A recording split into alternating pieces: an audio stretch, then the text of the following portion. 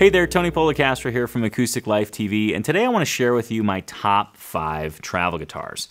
Now, I've had the chance to review a bunch of travel guitars, and if you're out there and you're about to take a trip and you're considering a travel guitar, these are five that you're going to want to consider. Number five, the Journey OF660. This is kind of one of the more, uh, I will call it bizarre travel guitar because it's carbon fiber and it's got some kind of fold up easy traveling features, but you don't have to worry about humidity. It packs away really nice and tiny. You can put it in the overhead on an airplane, throw it in the back of your car, and it's pretty resilient to weather and as I mentioned, humidity changes.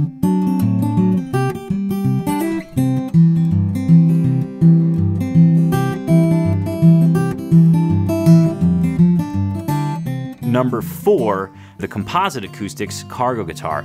Again, another carbon fiber guitar that is very resistant to weather and humidity changes.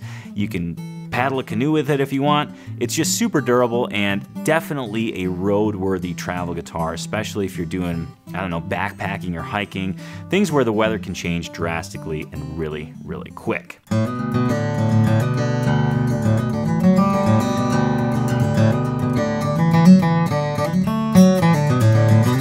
Number three, the Taylor Baby Taylor.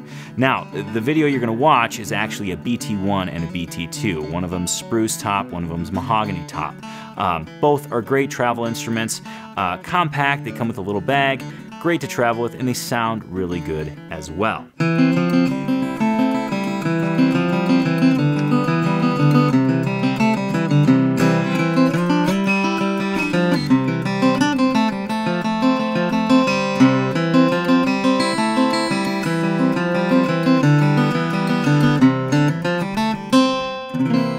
Two, the Martin Dreadnought Jr.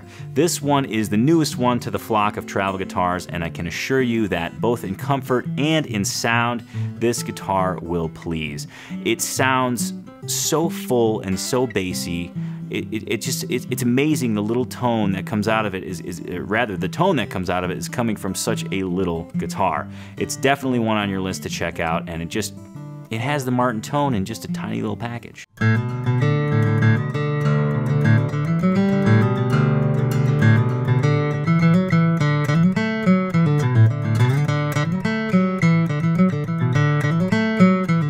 And last but certainly not least, my favorite travel guitar. Number one, the Taylor GS Mini. This guitar comes in a variety of wood combinations, uh, all mahogany, spruce top, mahogany back and sides, koa top, uh, laminate koa back and sides, uh, spruce top, rosewood back and sides. You name the combination, this guitar is amazing.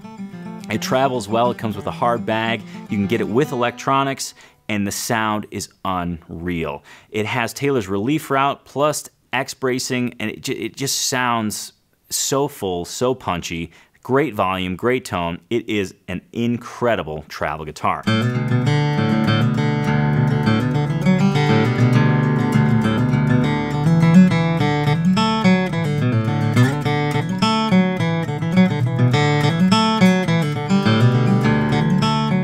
So there you have it. Those are my top five travel guitars. If you want to check the current pricing on any of these models, I've included links in the description so you can go around and shop and check them out for yourself.